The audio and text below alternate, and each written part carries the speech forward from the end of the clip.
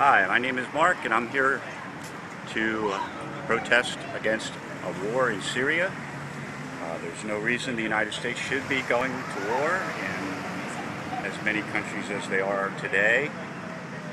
Uh, citizens need to stand up and let their voices be heard when our government is doing things that we don't agree with.